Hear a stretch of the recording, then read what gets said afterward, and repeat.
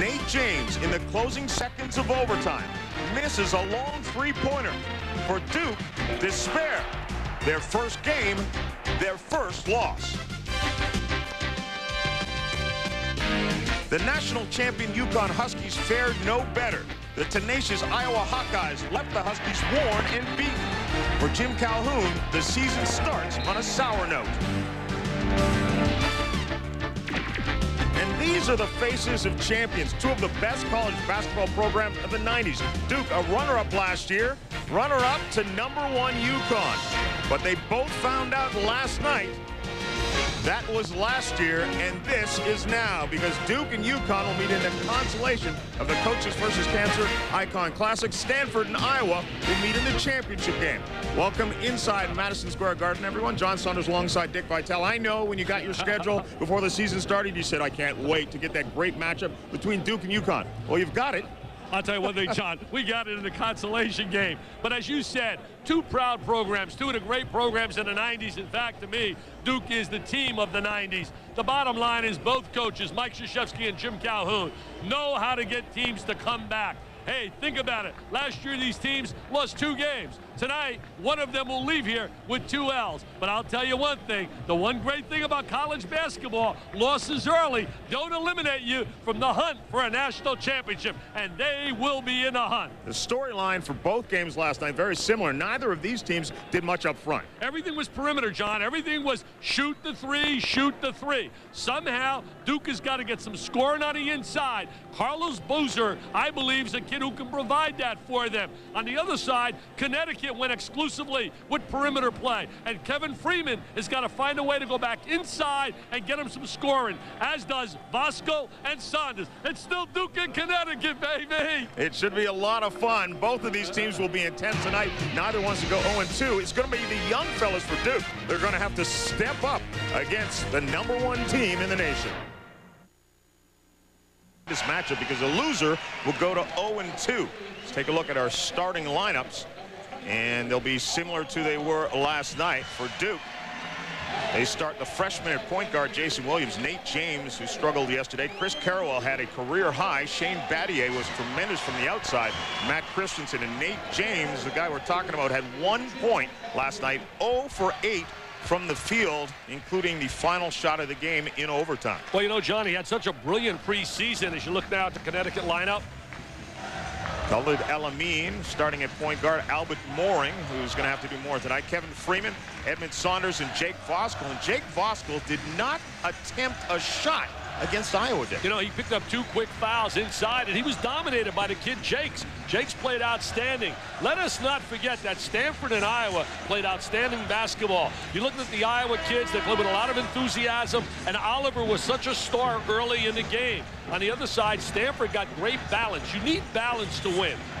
Jim Calhoun readies his troops, and there's Mike Krzyzewski you can see what he has done, and everybody knows about the national championships and the trips to the Final Four and just everything he has done for the world of college basketball. And if there's been someone to rival him, maybe not on the Final Four level or the national championship level, but as far as success in the 90s, Jim Calhoun is right there. Well, what he has done for that program at Connecticut, Lew Perkins and I, a fine athletic director who does a great job. We're talking before the game. He said, I got one of the premier coaches in America. He knows how to win. What he has done to build the enthusiasm and spirit in that Connecticut program, he's a Frank Lloyd Wright. He's an architect, so you don't think I even know that.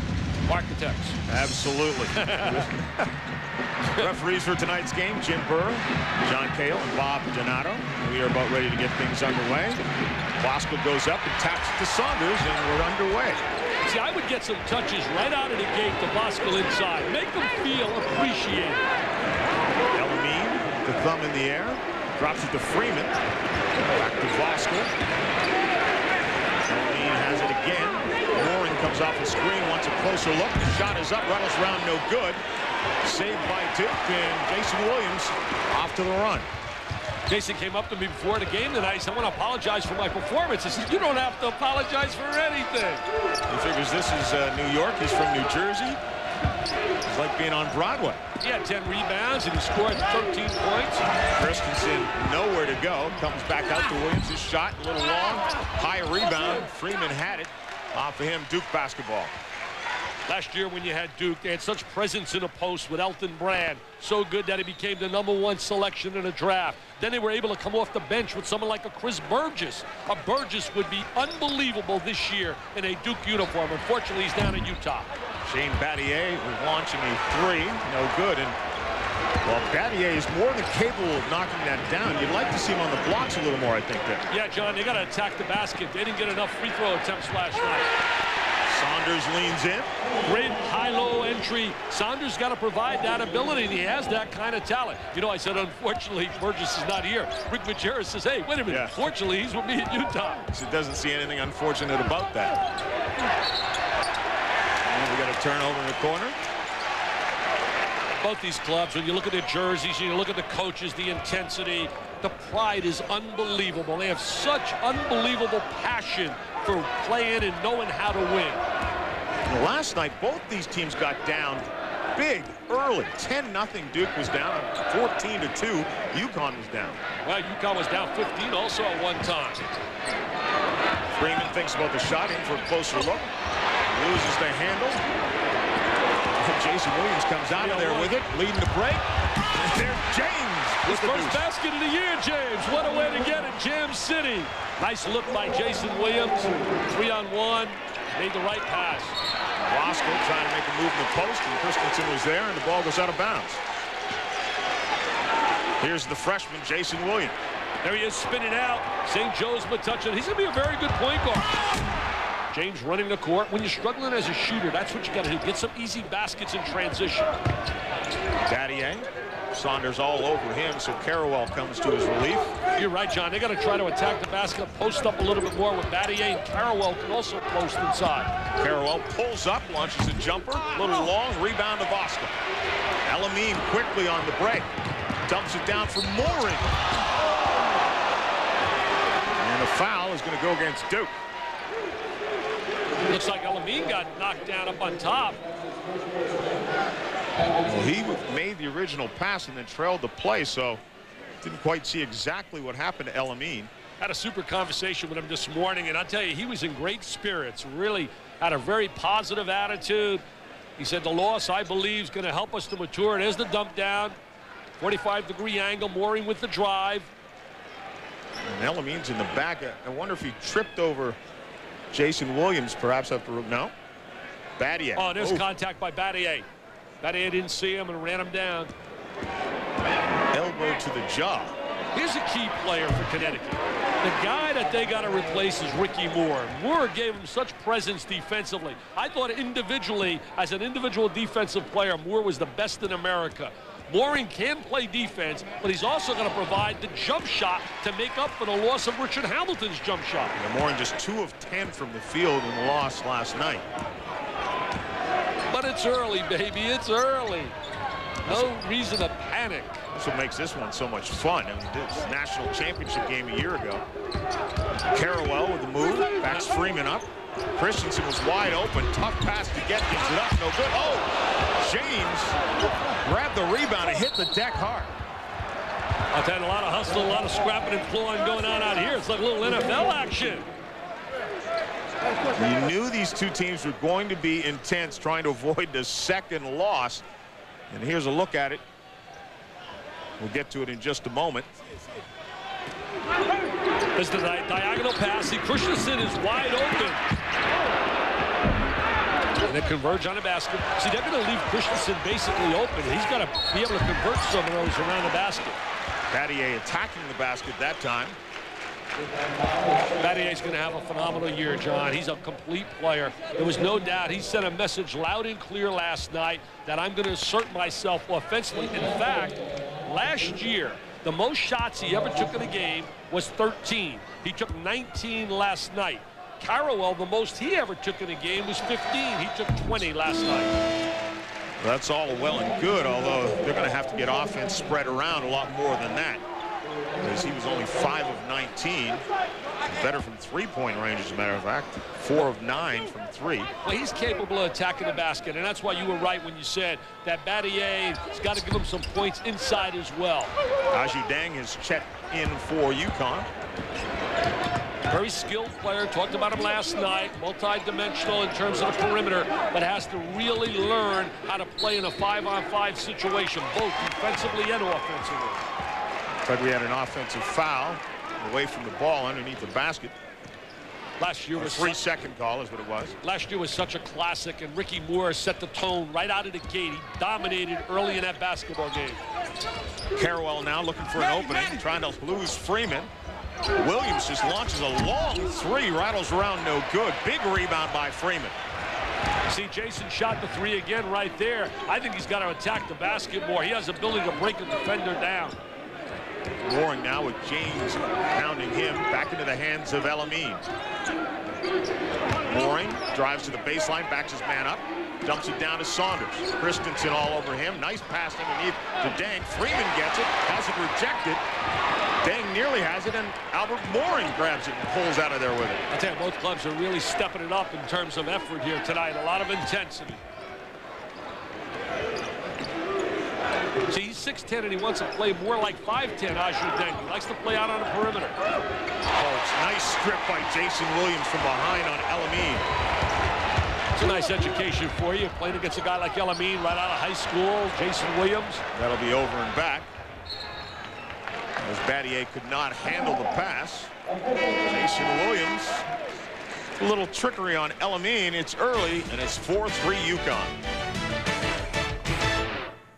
Now 4-3 UConn. Also here joining us, Jay Bilas. Jay. John, UConn coach Jim Calhoun keeps blue index cards by his television set at home, and on those cards, he takes notes about the teams that he sees on TV. Since Duke is on television so much, he's got a lot of blue index cards on the Blue Devils. And last year, he took notes on how Duke was able to break full court pressure to score.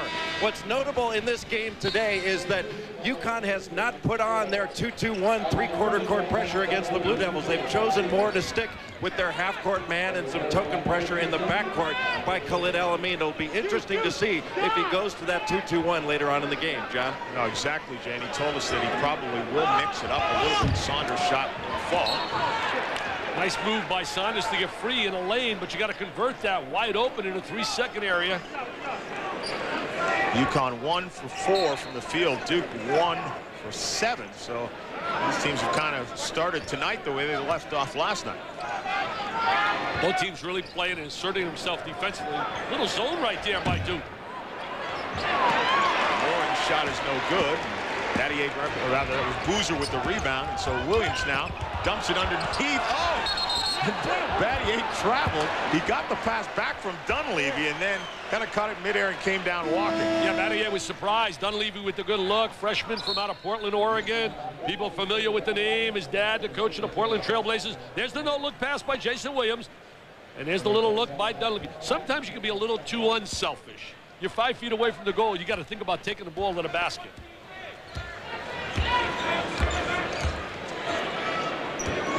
Very explosive. Tony Robertson has outstanding potential. I watched him last year at the Adidas basketball camp. Really very impressive out of Providence, Rhode Island. Played at St. Andrews High School. We got him out there with El-Amin right now. And Voskuhl attempting a shot, which is good news for UConn because he did not attempt a shot last night. Plays too good not to get touches inside. They got to get more touches on the interior to guys like Voskuhl and Simon. And there's what that guy can do off the bench. Dunleavy just comes up firing and buries it. Well, he's got great range as a shooter. Very active player. A lot of size, six seven for a wing player. Team was concerned uh, during the warm-up tonight. He hit the deck and was holding his ankle. He did get up under his own steam. Clearly not affected by it, knocking down that jumper. Well, his dad and his uncle both played at South Carolina. I wonder how they were able to get him away from the Gamecocks. He almost went to Stanford. You see the shot clock now down to six as El-Amin launches and rolls it home. I'll tell you, he got rolling in that second half. He was brilliant last night in the second half. Scored 24 after going one for seven in the first half. Just a deuce. Williams does That's what he's got to do. The boozer, and he reverses. That's what he's got to do, Jason Williams. Attack the defense. Create opportunities off the dribble penetration. Robertson from outside, no good. Carrawell with the rebound. That was a sensational play by Jason Williams. Dunleavy has an easy lane to the basket. Get it to. Jim Calhoun wants a timeout right now. He gets quickly off the bench as Duke strings together a number of baskets and grabs a 10 to 7 lead. Nice drive. Look at him getting the lane. What a nice dump inside. And he got the timeout, baby, because they didn't hustle back, John. Three-point lead on an 8-3 run, Dick. Hey, John, both teams have been known for their great transition ability. The ability to get from the defensive end to the offensive end. We're going to see now Duke getting out, and we're going to see a poor job by Connecticut in defensive tra transition. Freeze it. See, right here. Nobody stops the ball. Look at all the white shirts. Nobody back. He's got an open lane. In this lane, they get an opportunity for the quick layup. There it is. Wide open. Nobody back. Stops the basketball, and they get an easy layup in transition. And a little help from Shane Battier in the lane as he wiped out a couple of the Huskies, made it that much easier for Dunleavy. Well, the one thing you got to do is you got to really hustle back. Look at a good defensive stance right now by Jason Williams. He knows he's got his hands full tonight. El-Amin crosses over, comes up empty though, and Duke clears the boards. Williams ahead to Dunleavy, who pulls up and launches a three that's off the mark. Saunders knocks it to El-Amin, ahead to Freeman. Freeman takes it up strong, a little too strong on the glass. Boozer with the rebound. Freeman last year, the MVP, got the big gold trophy in the Big East Championships. This kid is going to be a solid point guard. We said it last night. First freshman to start at the point since Bob Hurley in 1989-90. Hurley obviously was a special, special guard. So for him to be the first to do it since then is saying plenty. Don't forget, here's tonight's uh, ESPN 2 lineup. Edge NFL matchup at 8.30, followed by Friday Night Fights. 11.30, the NFL tonight, and then at midnight, NBA tonight. Let's find out everything in your favorite sports. NFL coming up this weekend, of course, and the NBA, what's been going on tonight. Jason, Deuce. Jason's thinking too much, John, on that shot and that release rather than just catch and shoot. Look at Voskuhl. Now, you're going to tell me he shouldn't get the basketball. He should have had it a little bit earlier. Now it's too late, so the outlet to Freeman, and then a reset as El-Amin comes to the ball. See, recognizing and knowing how to get the ball inside is a special art. El-Amin drives, pulls up, dishes to Saunders, comes up short on his hook, gets it back, sticks it off the glass. You got to go up strong and convert that. He made a tremendous look. Look, not getting back again. Not getting back. That's a no-no. That's a no-no. Hey, Jay Bilas, come on. You got to tell those guys they got to hustle and get back. Wait a minute. No, he can't. He says, no, no, I'm a dookie. I'm a dookie. No, he's very objective here. He does a great job for us, too. Yeah, he does indeed. But we do remember him in that blue uniform, 86 Final Four. Well, we'll give him that opportunity tonight. He's allowed to have a little feeling for Duke. El-Amin dumps it off the Mouring, tries to lose Carrawell to Saunders, who has Horvath right in his face, dumped underneath. Has to pull it out. 10 on the shot clock as Freeman launches and rattles it home. See, that's where Freeman is comfortable. I don't believe he is comfortable making that adjustment to try to play on the wing. Put into the small forward position, which was Richard Hamilton's last year. Williams doesn't get it, but Carrawell goes after the rebound strong. And he's going to reset it for Duke. See, Carlos Boozer was open right there. They want him to be a little bit more aggressive. I really believe he's a key for Duke. If Boozer can come in and give him some offense in the post area, they'll be a better basketball team. There's Boozer from just above the free throw line. Comes up short. El-Amin ahead for Voskuhl. Slams it home. Oh, hello! Look at the big guy. Hey, Jake the Surfer out in transition. Nobody rotated back defensively. Jake Voskuhl, welcome to the 99-2000 season. See, that's Connecticut basketball. Get out in transition, run, find the open man. Dunleavy, kind of no man's land there, dishes it off to Williams. Carrawell now. They got four diaper dandies on the floor right now. Duke, four freshmen in Carrawell. Carrawell spins into traffic. Voskuhl is there, and the foul goes against UConn. Calhoun looked like he was ready to strangle someone on that call. Number two on Voskuhl, and that has to be concern for him and coach Jim Calhoun. But Voskuhl, who didn't attempt a shot last night, gets an easy one to get things started tonight. Any shot of that I can get like a, a, guest appearance on that sitcom? I'm going to get you on my sitcom. Yeah, hoops, baby. I had so much fun with the Iceman. Just a great guy. By the way, it's not enough. It's not enough that you're Dick Vitale. You got to take on other identities too. You got to be two people now. I, thought, I wish I had his hair. I wish I had his hair. Look at that good-looking guy. Jake Voskuhl on the bench with two fouls now. That's been the story of his career.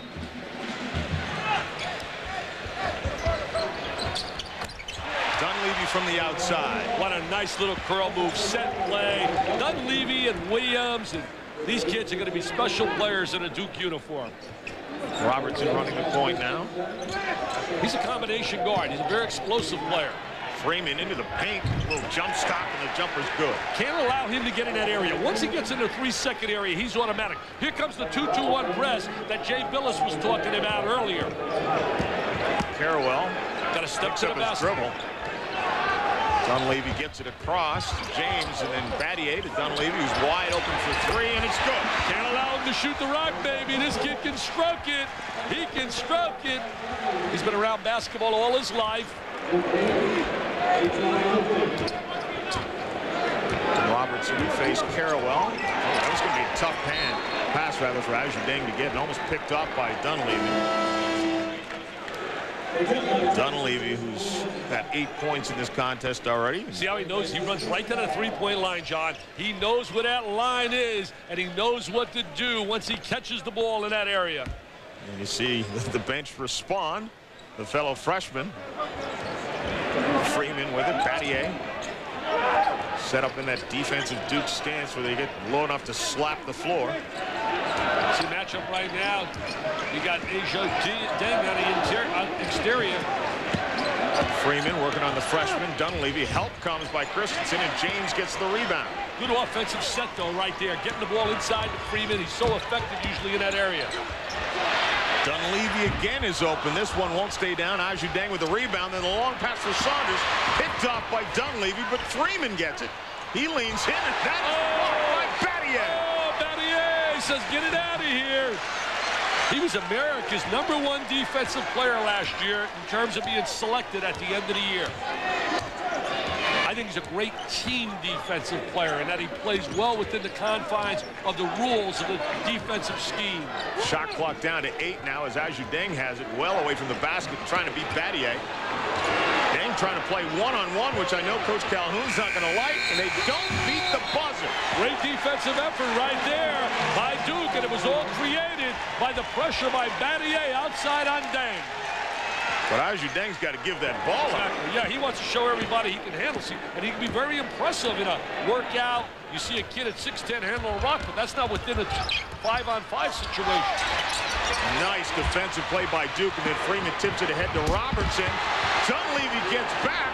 Ajiang, though, gets the conversion. Nice look inside. Nice conversion by Deng. See, the one area I think that Jason Williams is breaking down, John, is the rotating of coming back and protecting the basket. And that's part of your point guard's mentality and responsibility. One point lead for Duke. Williams now dumps nice it pass. down to Christensen. Couldn't get the handle. Finally gets and gets it up on the glass. No good. Taps it around. Still no good. And then we get a foul underneath. Tough luck for Christensen. Really working hard inside. Here's a kid, very limited experience, Timeout on the floor. And Shane Battier was their leader last night. Tonight trying to do it defensively as well. And what we'd expected, a tight one-point game. A coach is there to give hope. Hope. A coach is there with answers. That's what the American Cancer Society is for people who are battling cancer. A coach. A coach. In the most important, important, important game of all. Life. Life. Life. Hope, progress, answers.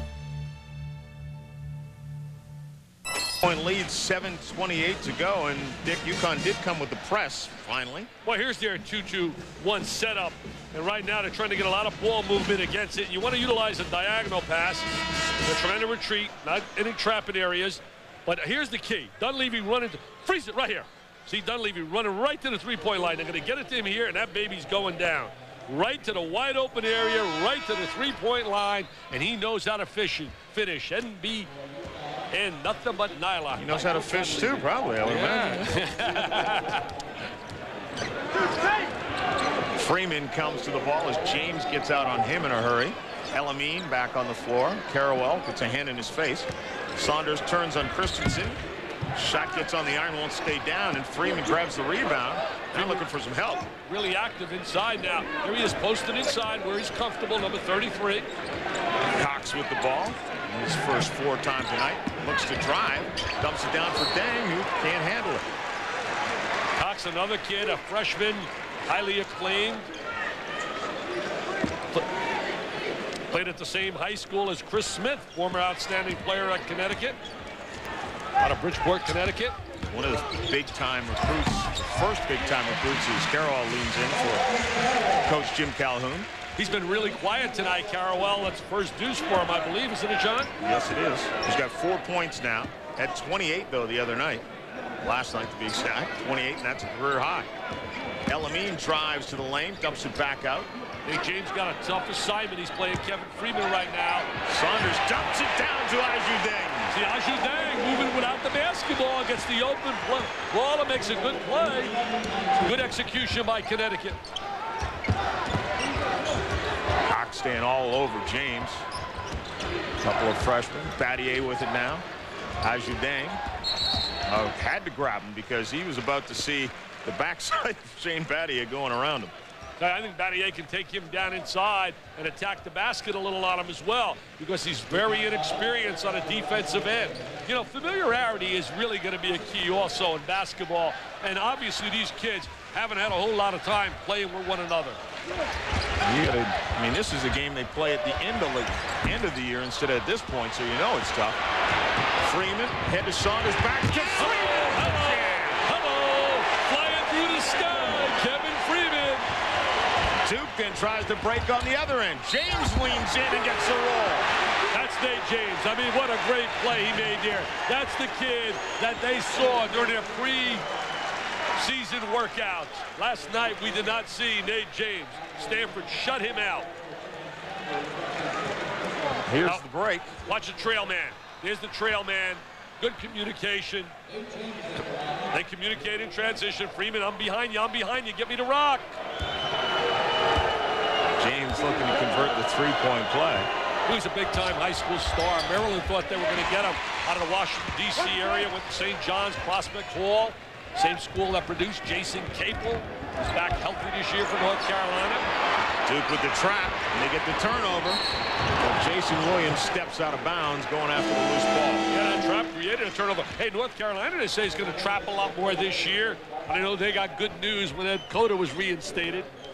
Without question, Terrence Newby and Ed Cota, a little altercation involvement in that. And they were suspended, but have now been reinstated. I think they're going to have a great year this year. I think they're going to be a team with great balance. And the kid Joe Forte, John, remember that name out of DeMatha.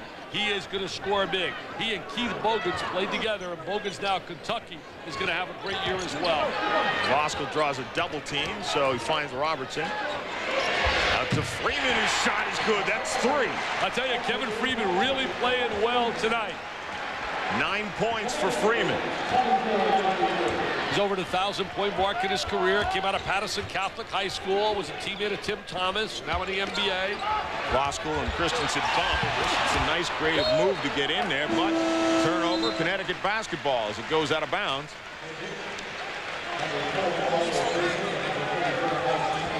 I know you've been following the Sports Century 50 greatest athletes wow. as I have, and I'm telling you, number 11, Joe Louis, is one that everyone absolutely admires and looked up to. Heavyweight champion from 1937 to 49, longest of any heavyweight, but was just a great man as well. Well, you know, having coached in Detroit, I've heard so many stories about Joe Louis, and they've all been very positive. His dedication to youth as a champ was special as well.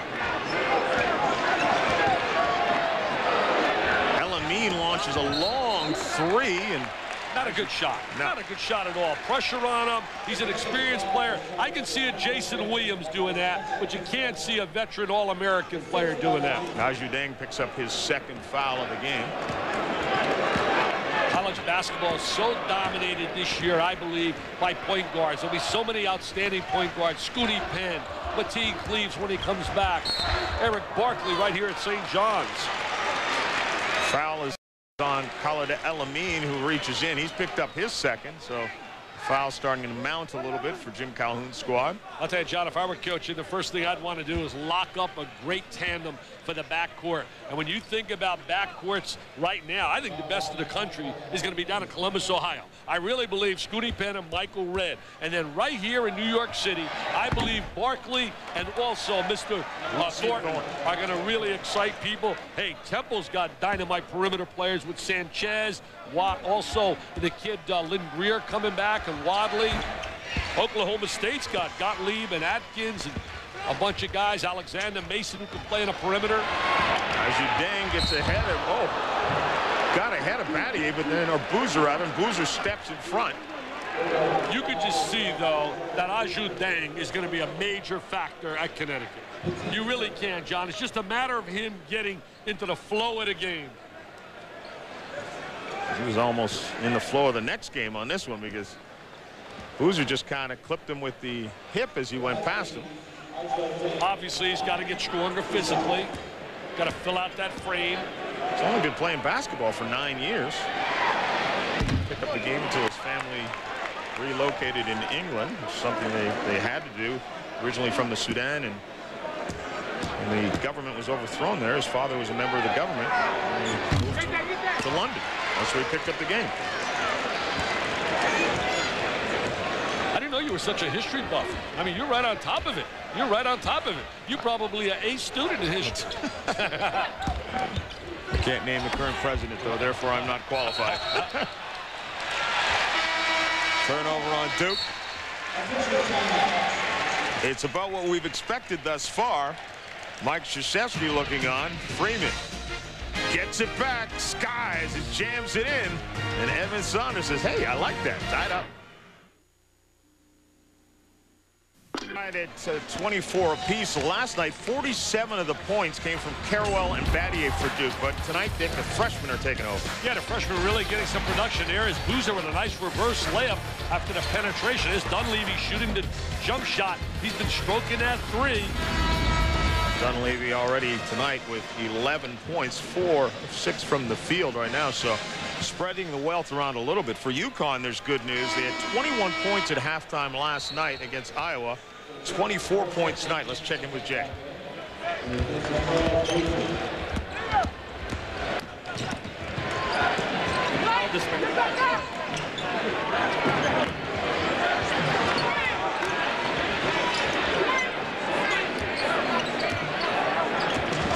Robertson with the ball now. Trying to get that high post screen from Voskuhl. Dumping it down for Freeman on the baseline. His jump shot is good, and that stroke's looking pretty good there. I'll tell you one thing, he looks a lot better catching and shooting and facing right now. Great screen inside, though. Voskuhl gave him that opportunity. 11 for Freeman. He's going to have to face to play at the next level. He'll play at the next level. He's tough, competitive kid, good attitude, very physical. Nice rebounder there as well as Freeman goes up on the miss by Carrawell. He has really stepped up here tonight. Freeman gets it again. James quickly out to meet him. Oh, they missed Voskuhl. Oh, he wants it. He had great post position. He's a little frustrated right now. I don't blame him. Ajou Deng off the mark. Boston hey, says, hey. that's a pass, I guess. He said, you guys don't want to give me the rock? I'll just get it off the glass and lay it in. Come on, get me some touches, baby.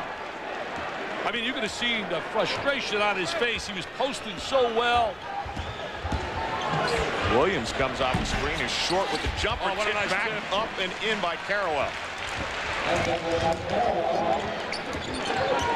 Now watch Voskuhl inside, trying to get position. El-Amin pulls up, backing up as he launches a shot. Carrawell with a strong board. Timeout. Mike Krzyzewski looks like wants a 20-second timeout. Well, 30 now. Every, every 30, timeout, that's right. 30, 30 seconds. second New rule right now. Five 30-second timeouts are allowed. No longer a full timeout. Got stuck back in yesteryear. This is a change in the rule for this season, the 10 extra seconds. And the reality of it is it, not, they were never 20-second timeouts, and they were never 30 second They're a little longer. Don't forget, at halftime, Digger is here. Digger Phelps will join Oh, me. where is he? He's working. He's sitting There- side. He's working the house right now. There he is right there. Digger working the house. Look, Look at shaking Tigger. hands, shaking Uh, hands. Yeah, yeah, Tigger. Look at this. He running wants for to run for president. president. He's in New York City. He's doing his notes. He's got all kinds of notes. That, that's that's a list of the that's a list of the restaurants that Digger's going to go to tonight after the game, as opposed to talking to Steve Alford. You should be preparing for that. I know one thing. He will not reach down in that pocket, baby. The next check he picks up will be the first. We'll look back and we'll talk to Steve Alford tonight at halftime. It's coming up in about two minutes. Battier, oh my goodness. No defense at all, no help. Voskuhl got beat, but there was no help to come over. Battier active on the inside. Look at the smile on his face. He's, I can't believe I was that open. Not a smile on Jimmy Calhoun's face. Now watch right here. Drives to the basket. Right down the lane with a little jam. He's going to have a big time year. There's no doubt he'll be an all ACC player for sure this year. And three fouls now on Ajou Deng. Battier pumped up as they've scored the last four points to get this thing tied up again. And the three-point play conversion gives Duke the lead at 29-28. I got three all ACC players already. This season hasn't even started. Before it's all said and done, they'll be locks. Ed Cota, Battier, and Terrence Morris. That's So now we only got hard to argue two. with that. Now we only got to find two. Folks that aren't at Maryland, Duke, and North Carolina might not be that happy about that. Freeman loses it. Mouring thinks about the three. Closer look, launches off the shot clock. Freeman, to me, is showing a lot of diversity in his game. He's really attacking the basket, even though he had the ball pop out of his hands right there. You got to like his body structure. Williams tried to drive. El-Amin may got a piece of that, but it's out of bounds. And that'll be Connecticut basketball. 136 to go. You know, it's sloppy play, John. There's not that smooth, fluid offensive system you'd like to see. But again, I pointed out it's November 11th. Or is it the 12th? is it the 12th? On my Oh, calendar like- says the 12th, so I, I don't know. I'm still living November 11th. You might be. You might have last year's calendar. I'm still shocked to see these two teams playing at 6:30. Dunleavy gets a turnover as Saunders tried the entry pass to Voskuhl. Williams thinks about a long three. Saunders gets a piece of that, goes out of bounds, so it will still belong to Duke. The key for Duke is going to be the penetration of Jason Williams. I think when he gets back and they got a week to practice before the next game, Johnny Dawkins and those guys are going to work on his game and get him to attack. He knocked down the three right there, but they got to get him to utilize his strength and his ability to break defenses down. As you look at the former player of the year, Johnny the best. Quinn Snyder makes his debut tonight with Missouri against Wisconsin up at the Cuse. Mike Krzyzewski's gonna. They could form a league of guys that are be his former assistants, and Tommy Amaker, of course, at Seton Hall, and you can bet Johnny Dawkins will be moving along as well at some I'll point. tell you one thing. Next year, when they win big, Seton Hall, I'm going to start screaming, that's my alma mater. Clock is down to eight as Saunders grabs it on the baseline. Voskuhl swings it back outside, and Mouring knocks down a three. And that's what they got to get out of Mouring. They got to get that trifecta. That's got to become an integral part of their offensive sets. One point game, 15 seconds to go. Freeman steps out high on Carrawell. What a matchup. There's two Warriors going head-to-head right there. When you look at college basketball, you don't find two guys tougher than Freeman and Carrawell. Spread the floor for Jason Williams. Dumps it down to James, who gets it up on the glass, but not enough to get it to fall. And time expires. And as you might expect, a tight one. Jim Calhoun, defending national champions. Mike Krzyzewski, he has two championships in the 90s. A one-point contest, seven lead changes, four ties. Dunleavy at halftime. We've got Digger Phelps, Steve Alford, the head coach of Iowa. It's all coming up. Coaches versus Cancer Icon Classic will continue in a moment.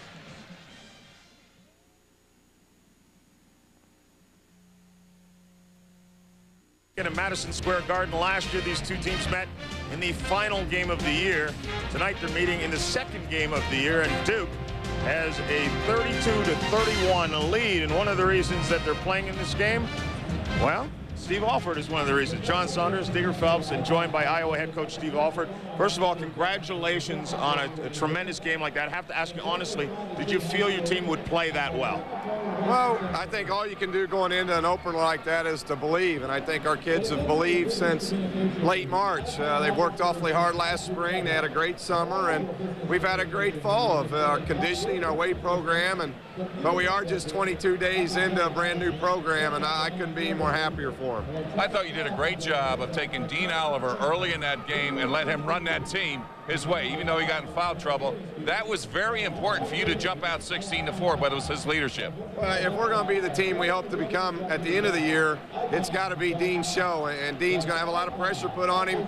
It's the junior year, and I think junior year, that's a pivotal year for kids that are thinking about the next level. So uh, we're giving him a lot of responsibility, both offensively and defensively, and I thought he responded last night. Steve, I got to ask you, how much mileage do you get? Because times are different right now. How much mileage do you get out of being such a young guy? Guy that's not that far removed from being. Oh. No, I'm not talking to you. You're, oh, okay. you're far from a young guy. You get any mileage out of it? The times have changed. It helps to relate to the players. Well, I hope so. I, I don't know. I, I just uh, I try to be myself, and part of my style is getting in there and mixing it up a little bit. And uh, you know, I don't do the full court thing anymore, but half court, I don't mind getting in there and doing a little three on three and showing people how to move without the ball. And uh, I probably don't mess with the stance anymore, Digger. But uh, I think that's what we have fun with. You know, shoot arounds. I'll get in and you know, Jake, I got on Jake because he was five and nine from the line last night. I told him, I said, hey, if you make your free throws, uh, you're looking at a 25 point night. And he said, hey, I bet with those balls you can't make 10 in a row. So at shoot around today, I hit a college three and an NBA three, and I just threw him the ball. Hey, yesterday, before the shoot around, you come in, I grab you, and I say, hey, let me ask you something all this stuff about you teaching man-to-man defense. I watched it in the end, and you couldn't guard a bank. Isn't it, great how six, it comes full cycle? Six minutes to go in the game. You make a move. You go to a zone to protect your guys in foul trouble, but Connecticut wasn't ready for it. No, and we had to do that, Dig, right? We had Luehrsmann, Galloway, and Oliver all with four fouls, and uh, I knew we had to have them down the stretch. They got the lead, so I had to get them in a little bit earlier than what I anticipated we felt like we had to go zone at that time. Steve, I got to ask you now. You're one of the greatest high school players in the history of Indiana. My buddy here was coaching at Notre Dame while you were in high school. What happened? How did you not end up was, as part of the Irish? What happened? Knight got him. yes. Yeah, he, you know, he got a guy named Scotty Hicks, who's a great friend of mine, and uh, Scotty was a tremendous player. We had a great class. There was a lot to choose from in 1983. We had a tremendous class coming out and he got a great one in Scotty Hicks. Let's get to tonight's game. I really think you got a great challenge. You're ready for this. You go up against a Stanford team. They don't have Mark Madsen, but what are your fears going into a game? Will you have a letdown? Well, I hope not. I think our kids are excited and they, they feel good about themselves. But realistically, we know we got a long way to go. Seven of nine kids that played last year are gone. We're in a new system. But, you know, it is Madison Square Garden, and I think it's something that's very exciting for us. Size is a big concern for me tonight. Yeah, Madsen, of course, uh, unavailable for Stanford tonight because diving for a loose ball, the end of regulation, he pulled his hamstring. He's going to be lost for about a month. I know you don't want to see anybody get hurt, but certainly helps you, your team's position. How good do you feel this Iowa team could be? A little better than perhaps maybe you thought coming in? Well, what I've been impressed with is uh, they're really trying. Uh, they're trying to impress the coaches. They're listening. They're following game plans, uh, and that's part of it. We maybe not be as talented as a lot of teams, but they're listening well and they're trying to get better, and that's a lot of fun to coach. Great challenge tonight, though. Dean Oliver against, uh, you know, Michael McDonald did a good job. He hit the two threes in overtime. An interesting matchup playing man-to-man. -man. Well, it really is, and I've told him that McDonald doesn't carry the same name that El-Amin carries yet, but he's an outstanding player. And if you're going to be going from a good player to a great player like Dean hopes to do, it doesn't matter who you're playing. You're playing a game of basketball, and you got to go out every night and do it as best you possibly can. So it ought to be a great matchup. All right, Steve, we expect it to be, and good luck. Thank you very win much. number two against Stanford, perhaps, as Mike Montgomery looks to start the season at 2-0 as well. Well, Michael Dunleavy is a guy who started well tonight. Bombs away, part of Duke's lead.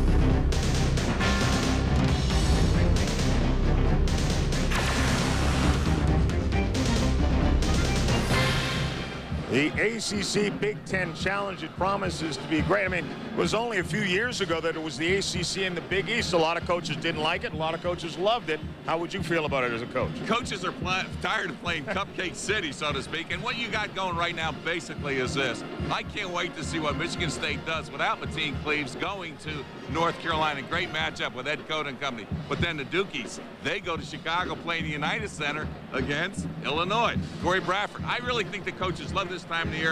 They like playing these big games. We're seeing a great half here tonight. But that ACC Big Ten Challenge is a big step for both conferences, which I think are two of the best conferences in the country. For Mike Krzyzewski, gets a chance to return home to Chicago. You know, it was only seven months ago that UConn and Duke hooked up in a classic matchup, won by UConn, the national championship game. And here they are meeting again. We thought it might be nice, though, to take a look back through the eyes of the two teams that played seven months ago.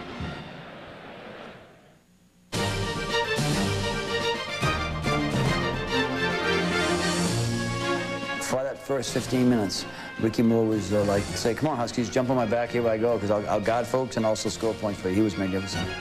Ricky Moore on fire with 11. It was a very uh, tense game. Could have gone either way both times at the end. Langdon shoots a three and he got it. After Tracy hit that shot, you know, that put a lot of pressure on us to come back down and make a play. El-Amin picked up by Branch, stop and go, takes it all the way inside, floats it up and in. If there was a sub at the scorer's table, action would have been stopped as the ball went in. I would have called a timeout. But we had something set up in both situations. And Langdon has the ball coming down to nine seconds. Langdon spins into the lane. He shoots. Steps, he walks. He travels. He tripped. It's over. It's all over. UConn is the national champion.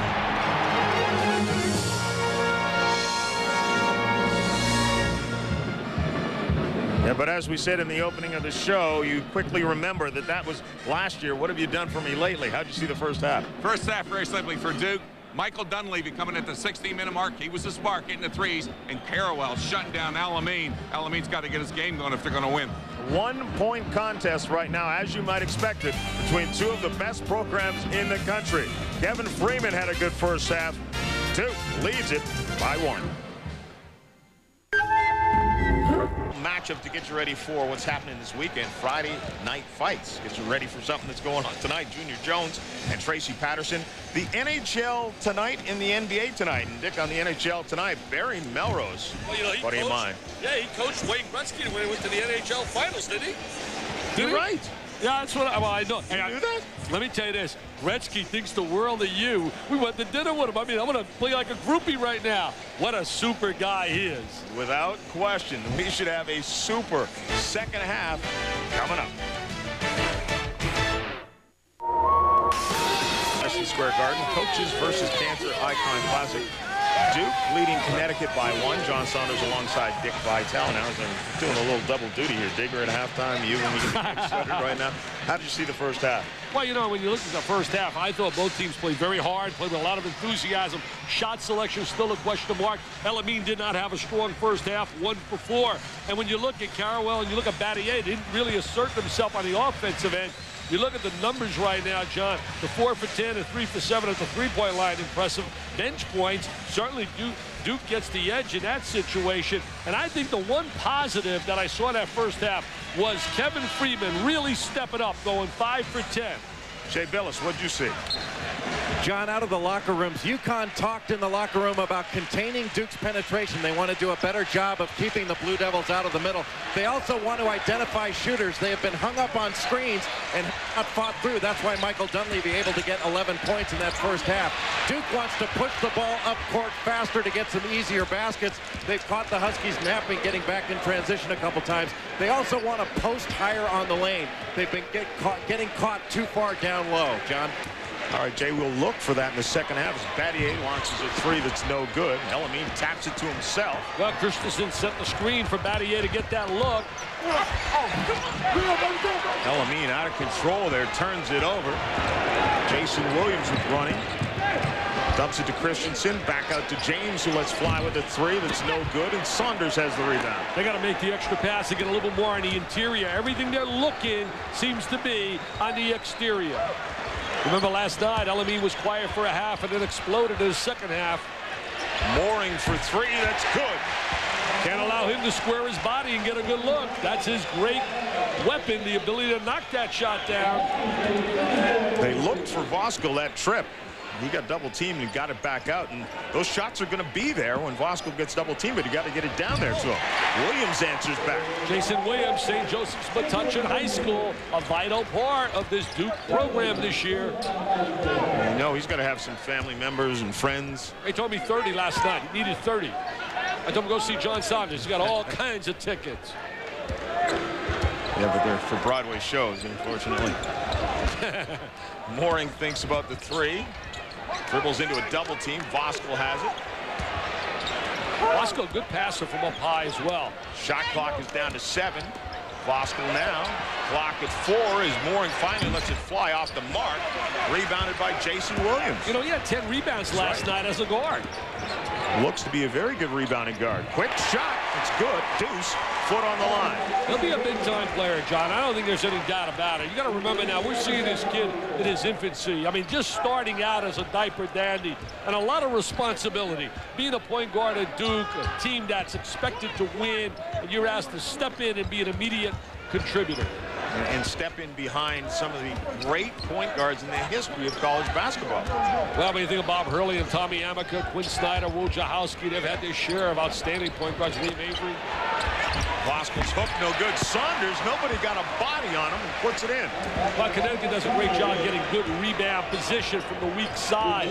They seem to be always in the right spot. That's just coaching.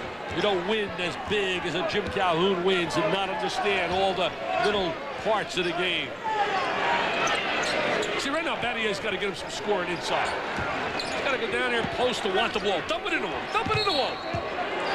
Carrawell gets fouled by Freeman. I can never understand how guys don't understand the concept of when a guy's got the guy behind him and he's got his back in his gut, dump him the ball inside.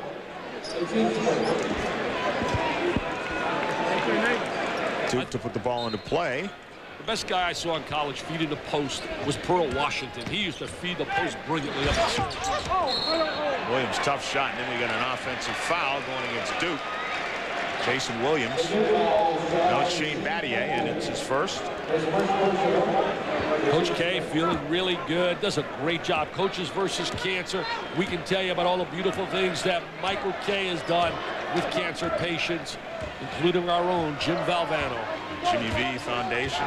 Mike, a member of the board as, as we are, Dick. No one works harder to help stamp out cancer than Mike Krzyzewski James with the rebound. Head to Jason Williams now.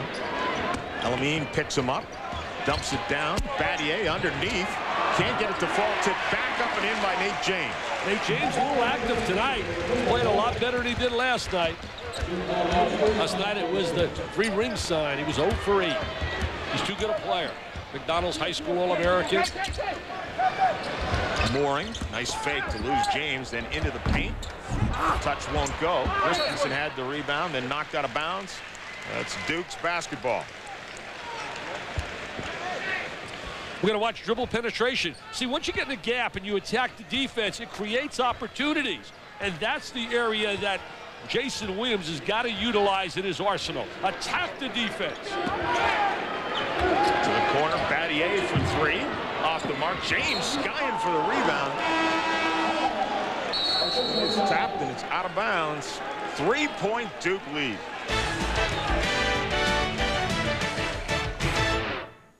ACC.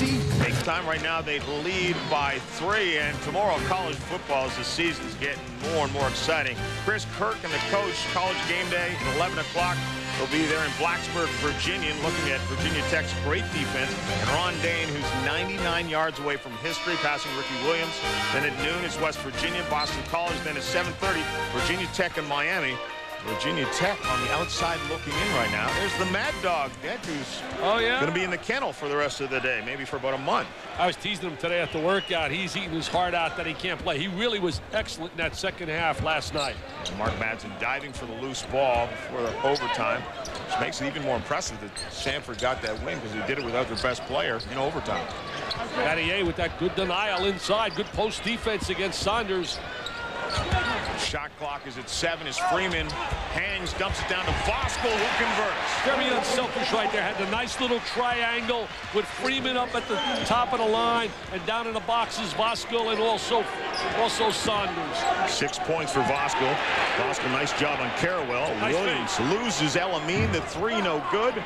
Tapped up and around out of bounds Connecticut basketball. I think Jason Williams is two three-point oriented. He has got to utilize ability to get to the basket. That's why Bob Hurley, and the threes came, and Hurley became a very good college three-point shooter. But he always attacked the defense, and that will happen with Jason Williams. You will see his progress as the season goes on. Mouring. Nice screen set by Voskuhl to free him. Jason Williams got really hidden behind the screen. You got to get over the top of that screen. You can't allow him. Right there was an example. He went what we call fourth man instead of going no worse than number three, sliding over the top. Carrawell now gets his man Freeman in the air short with the shot.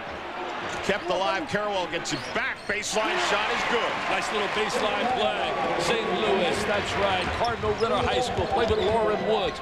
Hey, Connecticut and Arizona going to hook up in a grade eight. Arizona's going to be very good this year. Saunders gets it up, gets fouled, and gets it to drop.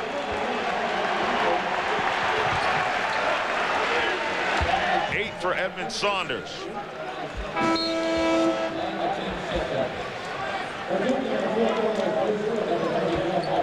We're going to watch right now how Jason Williams gets caught going behind the screen. Freeze it. See right here. He gets behind the screen and he knocks down that three. Edmund Saunders looking to give UConn a three-point lead by converting a three-point play. Got to learn as a young player how to read screens, how to communicate, how to get over the top. See, in high school, you can get away. When you're physical talent and you're so explosive and you're a dominant player like a lot of these kids, they can get away with all those little things. Can't get away with that at the big-time level. Boozer. Jump hook no good. Battier with the rebound, and then Battier stripped to the ball, and Mike Krzyzewski is off the bench. Something Mike couldn't do very much last year with the bad hip. He said he feels good right now. Look, look, showed him a little umbrella. He showed him a little umbrella. One of the great coaches to ever grace the sideline. Mike wants the over the back. He's not going to get it. You look at his record, 13 years, averaging 29 W's, eight journeys to the Final Four. So close last year to winning his third national championship. Mouring launches from the outside, and it's good. The largest lead. When he gives them that kind of offense, they become a really outstanding team. And as a TO, baby, that's the first time we've heard this crowd really explode. That was in two nights. It was so quiet last night. What was happening. That's a 30-second timeout. And they got great fans, John. They love their Huskies. I'll tell you one thing, Storrs, Connecticut. Geno Auriemma, what a job. Number one preseason with the women's program. Duke, they go to the final game with their women's program last year. These are two great basketball programs, men and women. But I still like Tennessee and Pat Summitt. You watch them again this year. They beat the national team. See, I follow that women's game. I want you to know that. If they're bouncing a basketball, Dick, I expected you know everything about it. No, I don't. No, I don't, John. I make believe, man. Let's check in with Jay Bilas. John, Jake Voskuhl, although he has not scored much in this ball game, has been a big key in the second half. Why? Because of his passing and also his screen setting. Twice he has sprung Albert Mouring for open threes, and whenever the ball has gone inside, Duke's defense has collapsed. He's kicked the ball back out for good inside-outside interaction. A much better performance tonight from Jake Voskuhl. That's 100% right, Jay. He did a great job laying those screens, and that's what he brings to the table. Just like you did when you laid the screens in 86 with Dortmund. Turnover stolen by Mooring. They got Uncle Mo on their side right now. Uh-oh, uh-oh. Could have been devastating, and then Saunders gets hit. going over the back of Dunleavy. UConn right now on a 10-2 run. They had made the last four before that miss by Moore, but he had to take it. They could not get a run last night. The one thing that they did so brilliantly, Iowa, they shut down any kind of run by Connecticut. And if anybody's followed Connecticut over the last 10 years, they've been a club that's had some explosive runs. Edmund Saunders to the bench. For Robertson and Ajou Deng in the game. Carrawell to Battier.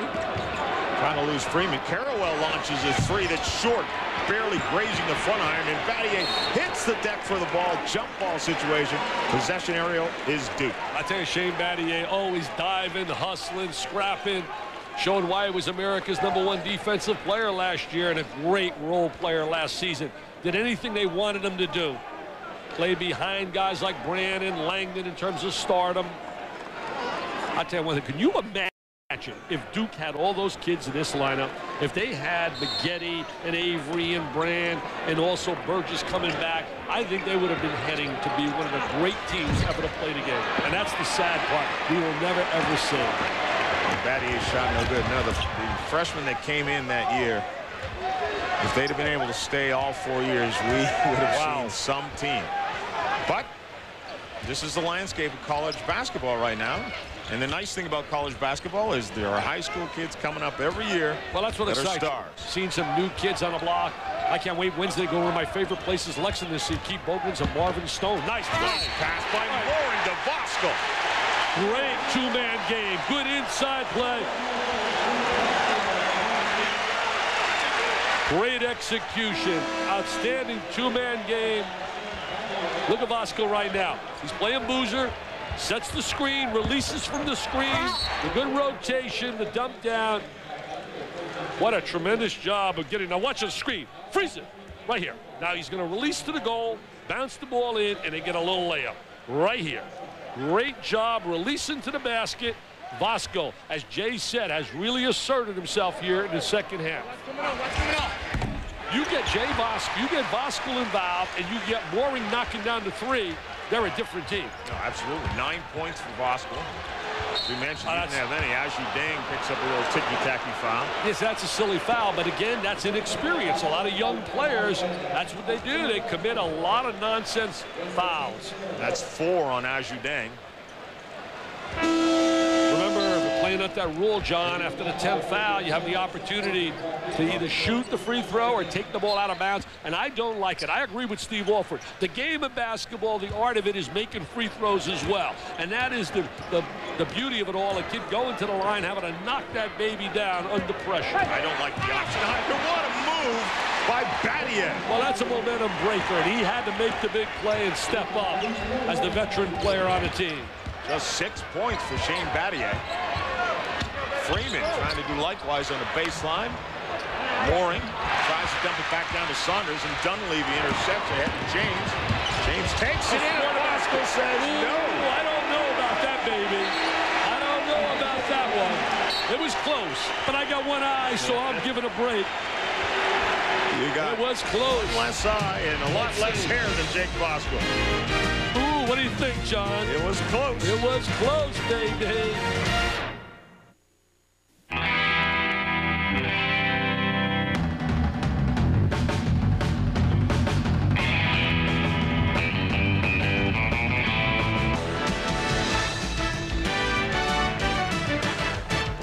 The Garden once again. Shane Battier, just six points, but powerful move here, Dick. Well, there he is, catching the ball on a wing.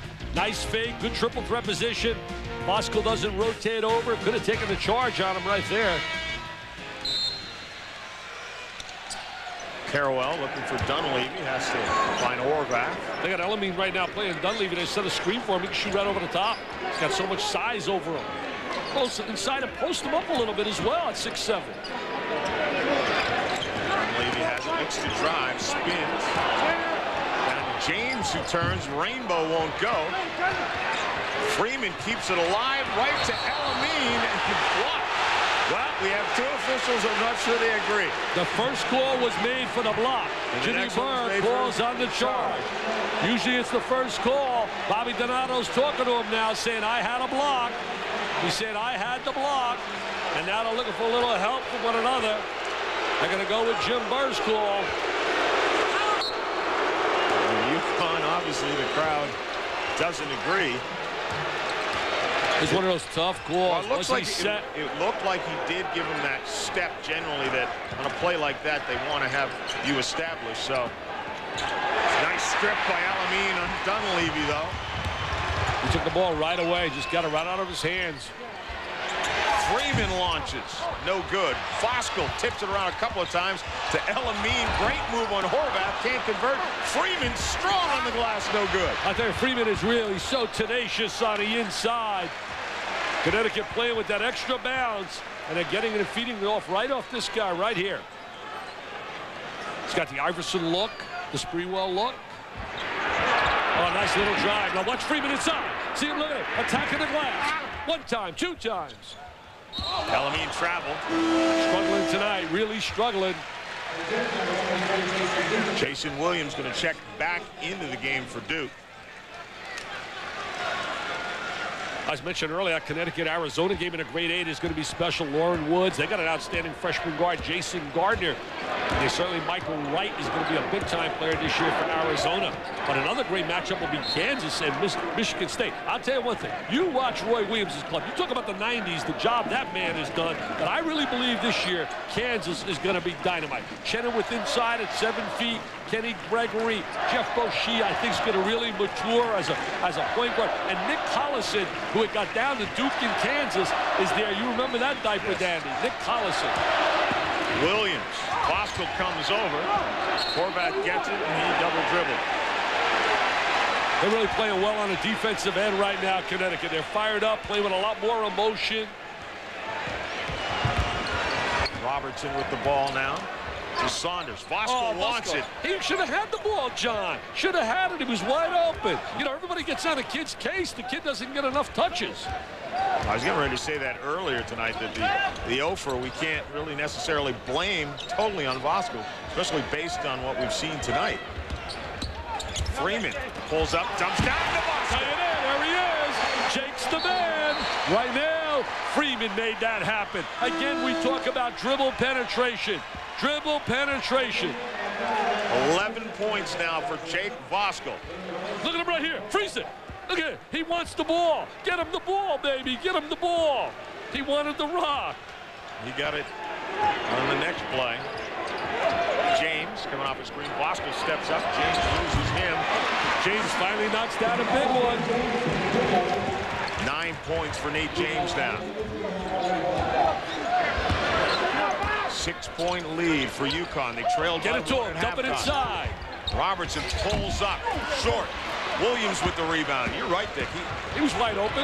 He was wide open in that sequence as well. Posted inside. Christensen tries to create something. James gets the rebound, comes out of there with it, dumps it back down.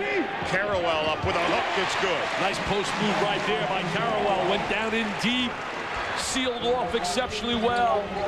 I'll tell you, Voskuhl really fighting for position inside. Freeman with it, swings it out to Robertson.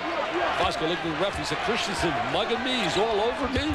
Saunders down to Freeman. Off the glass, no good. Rebound comes loose. James ahead to Carrawell. Almost loses the handle, but gets the flush. And then Mike wants the pressure. He wants full court pressure. Carroll out in transition. We got a good one. Connecticut at Duke, baby. That's the name. The names don't change. The players may leave, but it's college basketball. David Gavitt said it one time and said it so beautifully. He said college basketball is about the name on the front of the jersey, the NBA about the name on the back of the jersey. And as long as it says Duke and Connecticut, it's going to be exciting. Without question is Duke getting a little run going now down by two. We talked about college football on ESPN. How about the lineup on ABC at noon Eastern, Michigan and Penn State? Penn State, of course, trying to come back from the loss to Minnesota that took them out of the national championship hunt. Then at 3.30 Eastern time, regional market, Ron Dayne will get Ricky Williams' record. Facing Iowa only needs 99 yards. And Nebraska against undefeated Kansas State. Kansas State and Virginia Tech both undefeated, but on the outside looking in right now in the Bowl Championship Series. I think Virginia Tech could be upset city tomorrow with Miami coming down here. And they're great defensively. First time I heard about them was Lee Corso. My paisan, he's told America, he said, watch out for Virginia Tech. And he was right. I'm going to have to write that down. It's Dick Vitale. He's picking Miami over Virginia Tech. Well, I'm from Florida. You know, you got to stay with the local guys. Absolutely. I'll tell you, Brad Nessler is sitting up in his room right now. And you know what? We got to salute Brad and we got to salute you. You guys are working OT overtime with football and basketball. And Brad headed for Nebraska after being here last night. Hey, I get a chance to sit with you on Friday, with Digger on Thursday, and then on Saturday with Terry Bowden. What could be better than that? Uh, With a three. What Jimmy Calhoun says, I'll tell you what's better than that. Mouring knocking down the trifecta. 16 now for Mouring. You tell Terry Bowden to read my book coming out. I read about how he got a raw deal. All right, here it is. The steal. Oh, oh, trying to lose showtime. Saunders then tries with the left hand, no good. Jim Calhoun thought there was a foul in there. Dunleavy wide open. Voskuhl steps out to meet him. Floater won't stay down. Christensen has it. Trying to fight it up. Saunders with the block. I'll tell you, Christensen really trying to give his all, but a little bit limited in terms of out, you know, skills. Just a kid playing so hard. Hasn't played in a couple of years, too. Exactly. He went on a Mormon mission for two years as a medical red shirt. But the one thing you got to admire, he certainly gives everything he has. James coming off a screen. His three won't stay down. Voskuhl with the rebound. Real danger time right now for Duke. It is danger time. The next three minutes, they can't afford to allow Connecticut to get a spurt. Important possession here as Voskuhl comes out to meet the ball and drops it to the hands of El-Amin. Freeman. He's been the man. Freeman has been the man for them tonight. And Mouring has it. Oh, he's feeling it. Moving screen called and offensive foul. That was big because that goes down, John. You're looking right there at an eight-point lead. 54-49, Jim Calhoun has the lead. UConn's lead is five, and it, it could have been even more if not for the last moving screen. You know, when they had the moving screen, you got to be stationary and allowing that screen and making that happen legally. Now, watch right here. We're going to see him. See a little move? Oh, yeah, there's no doubt about it. There's no doubt about it. They can moan and groan all they want. That was absolutely a, a blind guy like me can see that, man, all the way over here. Voskuhl, though, after having a lot of goose eggs across his numbers last night, except in the foul department, has really come to play tonight, getting out in transition, fighting underneath for rebounds, and then converting the easy baskets. I'll tell you, he looks good at times, John, and take this to the bank. He will play at the next level. There's no doubt he will play at the next level. This year in college basketball, there's some really good centers. Chris Mims going to be sensational at Texas, Kenyon Martin at Cincinnati. What a team they got this year. Chenowith, Brendan Haywood. Dunleavy, that's an NBA range three, no good. Christensen chases down the loose ball. Back into the hands of the freshman Dunleavy. Battier launches an NBA three and gets it. Battier's stock just keeps going up and up and up with all the things he can do. And certainly with his attitude, he's just a solid all-around guy. His family's done a tremendous job raising him. He's got great character. Nine points for Battier. And a two-point game. El-Amin. Everyone steps out to meet him. Mouring puts it on the floor. Nice screen by Voskuhl. Rolled off of that. Mouring has it now. That's a three on the way, and it's good. I you, he's feeling it tonight. He's got the flow tonight. He is the bomb, baby. He is the bomb. 19 points for Albert Mouring. Career high. And that's what they need out of his game. With Richard with the velvet touch now, Sir Richard playing for the Washington Wizards, where he'll be a solid player because of his great stroke. They need somebody to make up for that stroke, and the name is Mr. Mouring, who got away with a little push right there. Dunleavy hit the deck hard. Freeman has it now. Oh, I love watching these two go head-to-head, -head. And Freeman. Oh, what a strong move to the goal by Freeman. He has 13. Freeman won that battle one-on-one, -on -one, little isolation. From Williams is long. Back to Christensen, out to Dunleavy, launches another long-range three. That is short. I too many three-point shots, John. Not making the extra pass, trying to get some offensive sets. getting some movement without the ball, with the ball, and just running the line and letting threes fly. You're not going to win consistently doing that. Well, Duke launched 33 three-pointers last night in the loss to Stanford. You got to have more balance in your offense and inside and outside. They're 6 for 21 from three-point range right now. El-Amin, five on the shot clock, launches the three that's no good. Strong rebound by Freeman. I'll tell you what, he's been a star tonight. He's got that little smile on his face. You can see why he got the gold trophy last year as the MVP of the Big East. They won five of the last six Big East championships, regular season, three out of four in a tournament. What an unbelievable job done in the 90s by Jim Calhoun. Voskuhl dumps it down low. Turned over, and Battier comes out of there with it.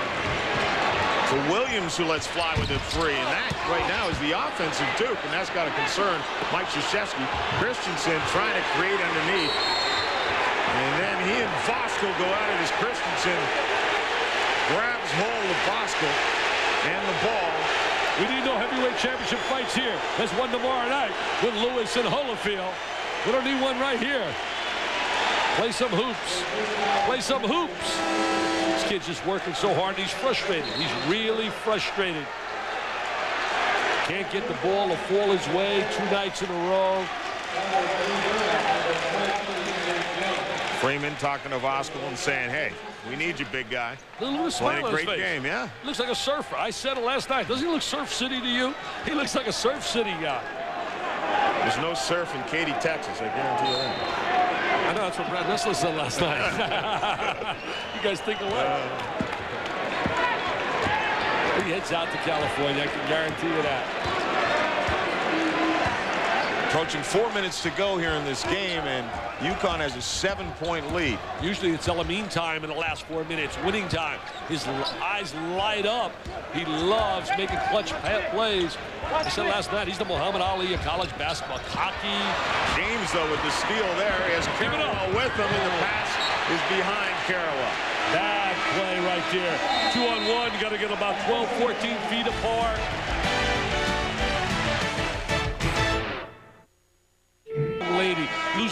Life so early. Great athlete. Our own Jimmy Valvano in his 40s. Uh, my dad, who was in his 80s. But to watch the pain he suffered and what he went through battling that cancer at the end of his life really broke my heart. And I just beg people out there, really, if you know someone you love, just maybe make a little donation on behalf on behalf of all those people that need your help because we must stamp that disease out.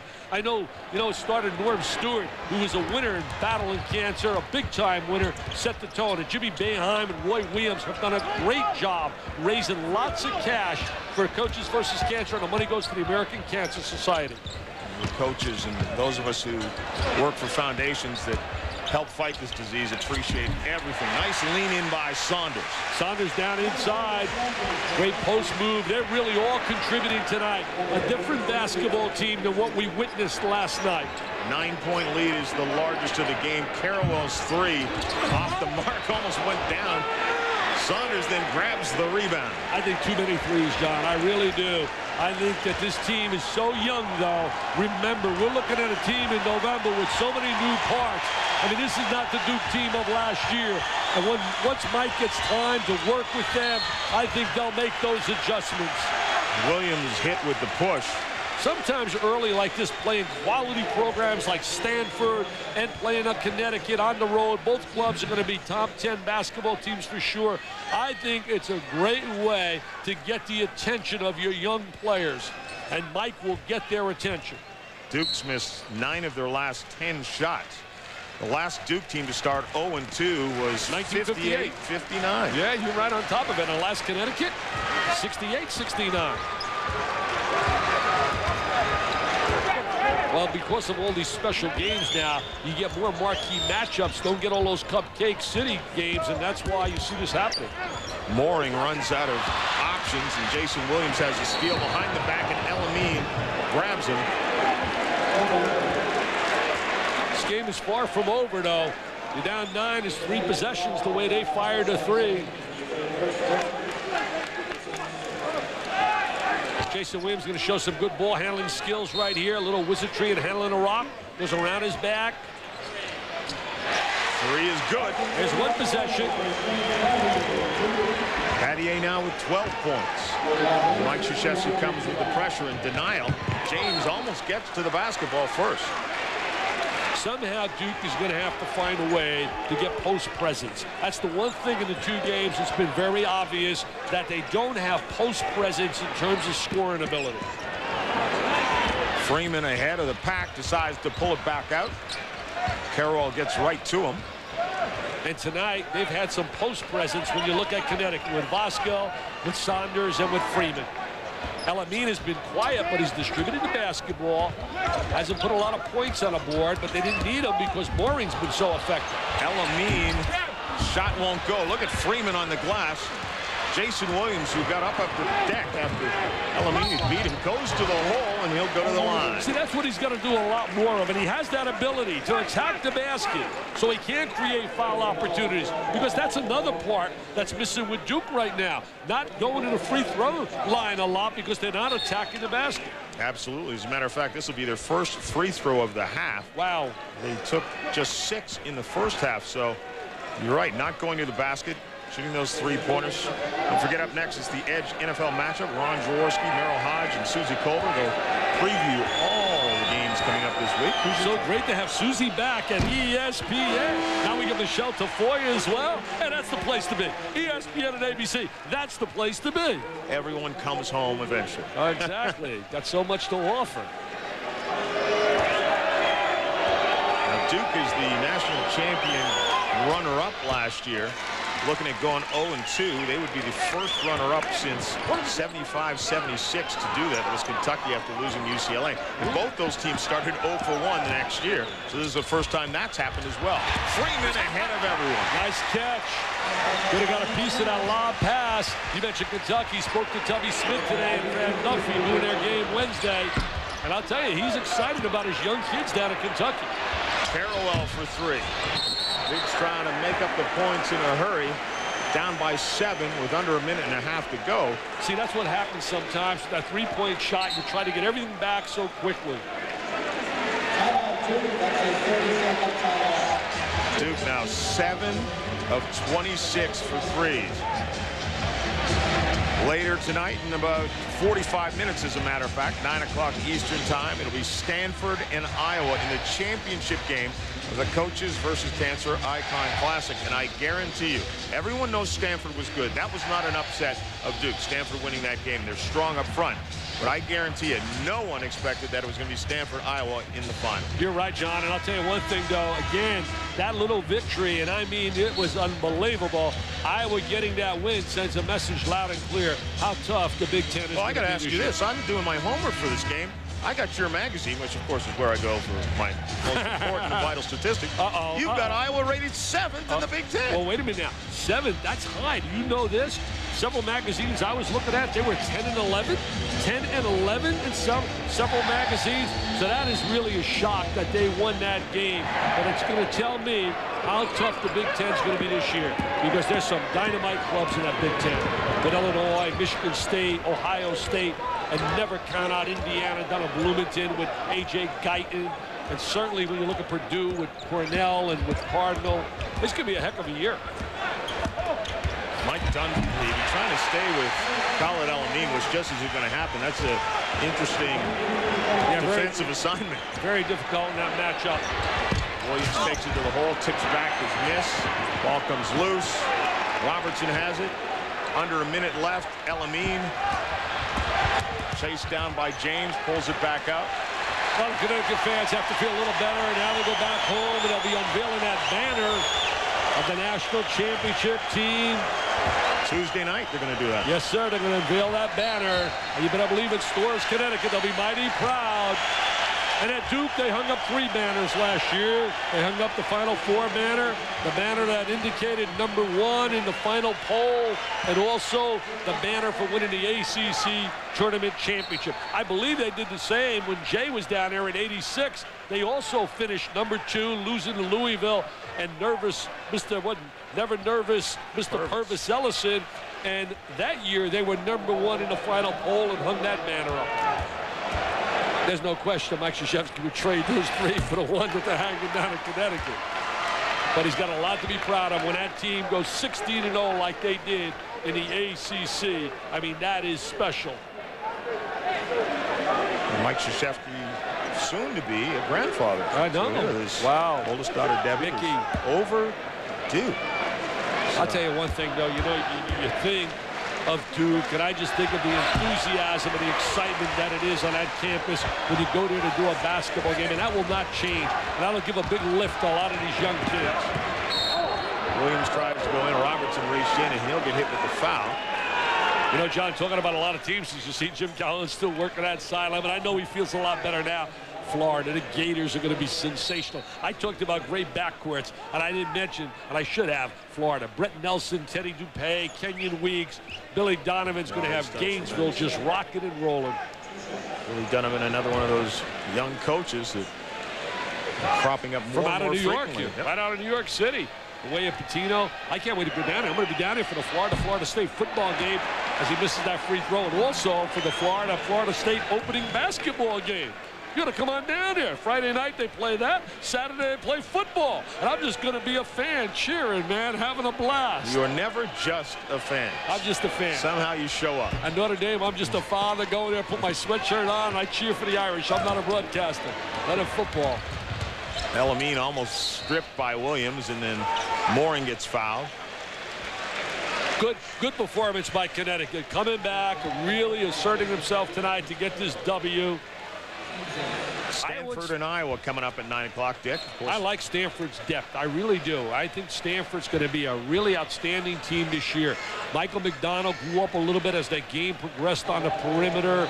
Casey Jacobsen, were you impressed with him?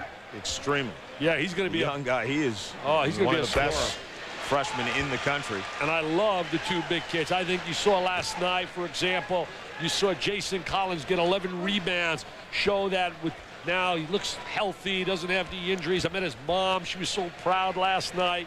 His brother played well in a box, and tonight they're going to have to both play exceptionally well because Jake's, I'll tell you, he was sensational for Iowa, and I love Dean Oliver. Battier with a long-range three that rattles down, and then the timeout. 26, 20 seconds rather left. 15 for Battier. The time is running out on Mike Krzyzewski and Shane Battier. Notre Dame, Ohio State. Wow, Matt Doherty's got to play against the Buckeyes to make his debut in Columbus. They lost an exhibition game by about 30 points last night. to I Notre saw Dame. that, yeah. So it's going to be trouble going against a team that went to the Final Four in Ohio State. Matt Doherty, welcome to the Big Ten. And then, of course, Kansas State and Arizona. Your first chance to see Loren Woods, where he was at Wake Forest with Tim Duncan playing there and then transferred over to Arizona. I'll tell you, Loren Woods is a kid with a lot of ability, and he's going to be surrounded with talent. And Lute Olson has really wielded a lot of magic with kids that have transferred. And you look at that club, a lot's going to depend on perimeter play. Can they replace a guy of the ability of Jason Terry, who was by far, I thought, the best player in the Pac-10 last year? Had a great, great season. And never, ever, ever forget UCLA when you talk the Pac-10. Foul. El-Amin was trying to weave his way through traffic.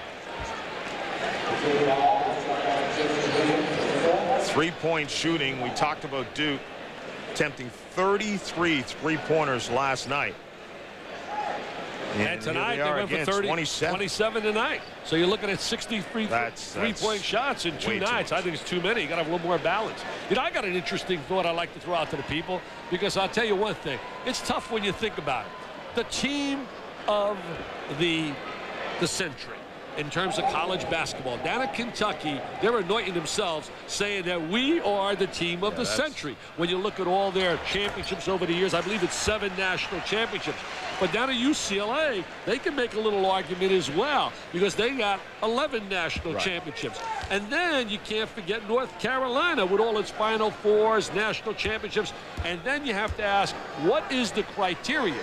Because if you look at criteria and you say, hey, what about a program that's never been on probation? Never. And that is North Carolina. Does that enter the equation? It'll be interesting to see how some people acclaim the team of the century. I know one thing. His team was the team of the decade. Williams with the long three there. No, I, I think you really have to perhaps look later in college basketball history because the rules have changed so much as far as recruiting goes that the reason sometimes those schools were the teams of the century or those current decades were they were just loading up with every single player that was av available because you could do that. You can't do that now. So maybe go back 20 years and say, okay, who's worked under the rules of the last 20 years? Maybe those are the best teams. Now, now why would you want to make things complicated and complex for me? I'm a simple guy, and you're trying to make things so complex for me. I'll tell you one thing, John. I'm so excited about this year because I think the theme for this year is going to be balance. I don't think we're going to have a dominant team that'll just blow people away all year long. I really don't. And last year, Duke and Connecticut. Remember this, Connecticut never lost the game last year when they had their full right. cast, their full, their full uh, roster. No, exactly. Jake Voskuhl missed a couple games, and Richard Hamilton missed a couple. And, and Duke was sensational all year. Other than that heartbreaking loss to Cincinnati, they ran the table and just were blowing people away. I mean, totally dominating people. You can bet this man and this man will have plenty of nights where they're trying to figure out what went wrong and plenty of nights, most nights, where they're trying to figure out what went right. I tell you, you know, you think about, again, I've got that in my thought here. Duke had 12 Final Fours in its history. Uh, they had five straight in 88 to 92. Had that back-to-back -back national championships. North Carolina's got three national champs, 14 Final Fours. Kentucky, seven national championships, 13 Final Fours. UCLA, 11 national championships, 15 Final Fours. Man, I'm spitting all that information out. My head is rolling it off. Thanks, Howie Schwab. the people think I know that. It's provided by our research expert. I was going to say some of those Detroit teams in the mid-70s that, that you coached themselves. I couldn't coach. That's why I'm working in TV, where it's so much easier. So for the second consecutive time, Jim Calhoun shakes Mike Krzyzewski's hand after handing him a defeat. Seven months ago in the national championship game, and here in the Coaches versus Classic, Coaches versus Cancer Classic, uh, this time around, it's in the consolation game. Big surprise there. So Duke has a little bit of work to do. They've now lost two consecutive games. They lost two games all of last year, Dick. I know. When you, you look at Duke, though, they'll get back in the gym, and they're going to work on some of their shortcomings. And I believe a player that's going to emerge for them will be Carlos Boozer. I think Boozer has to step up. He's got good offensive skills. Remember, for conditioning, it's been a little slow for him because he had the broken foot. Yeah, coming back from the broken foot, he spent most of the second half on the bench. Jim Calhoun has his first win of the season. He's with Jay Bilas. Jim, an improved performance from last night to tonight. How were things different for the UConn tonight? Well, I think we took our time. When things didn't go well, Jay, we stayed with our offense. We stayed with our defense. And, uh, you know, we just kind of played a, a really intelligent basketball game, which is what we need to play. You like to play a quick tempo. You also like to put on that 2-2-1 press, but tonight you chose not to use the 2-2-1 as much. Why the strategic change? Yeah, we were down a couple kids who weren't going to play tonight, so therefore the situation came. Quite frankly, we had a seven or eight man rotation as opposed to nine or ten we decided not to expend as much energy. The second half, you had two guys step up big. It seemed like Jake Voskuhl played very well, and so did Albert Mouring. Can you talk about their performances? Uh, just terrific. And, you know, Kevin Freeman, as you know, for the entire game. But Elby, you know, but he's been having a great preseason. Last night, he couldn't get off the snide, but played well. And Coach Jake was terrific. And I just think as a team, we played very well.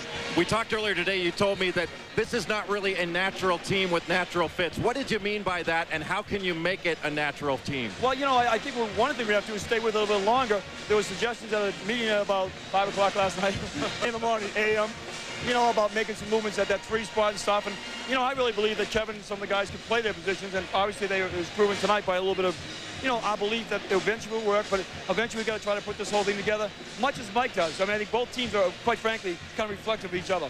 Jim, congratulations on a great win. Thank you, John?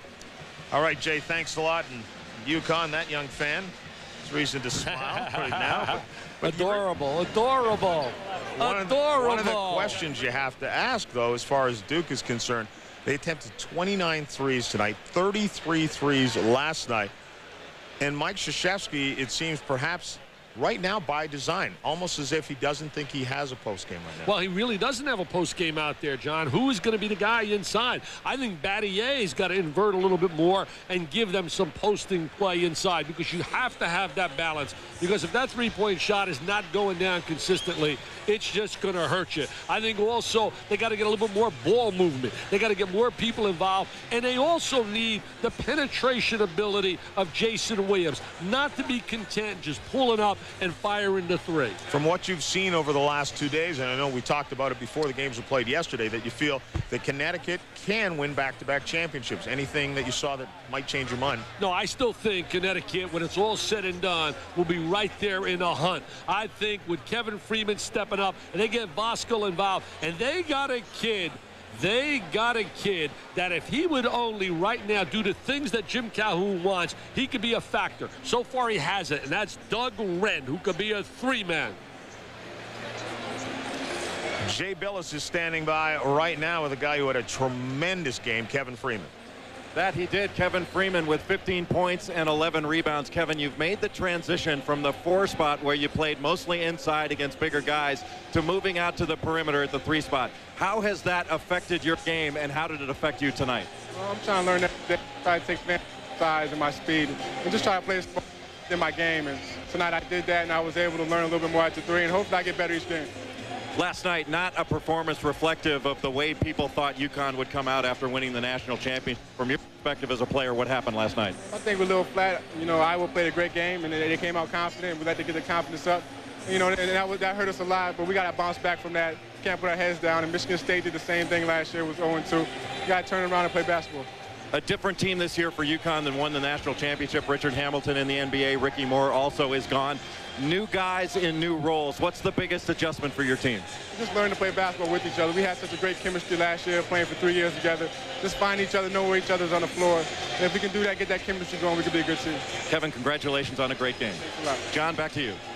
All right, Jay, thanks a lot. And so Madison Square Garden now awaits the next game, the championship game between Iowa and Stanford. But the season has started for Duke, and they are 0-2. Coming up next, it's the Edge NFL matchup. And of course, a reminder at 9 on ESPN, Stanford taking on Iowa. Once again, the final score, 71-66 UConn. For Jay Bilas and Dick Vitale, thanks for joining us, and good night.